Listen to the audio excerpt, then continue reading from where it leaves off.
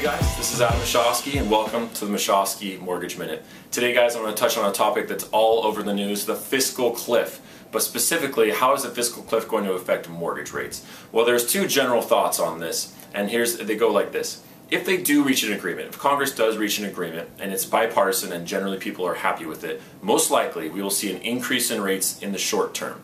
On the other side, if we do not reach an agreement, if we go over the fiscal cliff, it's likely rates could decrease a little bit more. Now we're already at record low rates, so uh, we have yet to be seen where those rates could go, but it's possible they could go down further. So this could help or hurt you in your guys' current situation, whether you're looking to refinance or purchase. I would love to help you and talk to you specifically about your situation to see if we can improve it.